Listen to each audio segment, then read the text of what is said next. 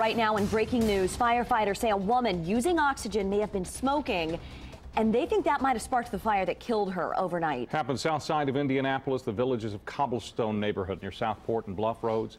Drew Blair joins us there live with everything she's learned. Drew? Well, Scott, you can see that crews have now cleared the scene, leaving tape to keep people from the damage. But there is a spotlight shining on the front room of this house. That's where the investigation centers this morning. Firefighters say the victim was in the living room when the fire started, and we want to show you what it looked like not long after firefighters arrived. Investigators are working to confirm suspicions that the 54 year old victim was smoking. According to IFD, a second woman also lived in the home. She got out on her own and was not hurt. We do not know that woman's age or her relationship with the victim. Firefighters say once they got here, they got the fire out quickly. It had not really spread out of the living room.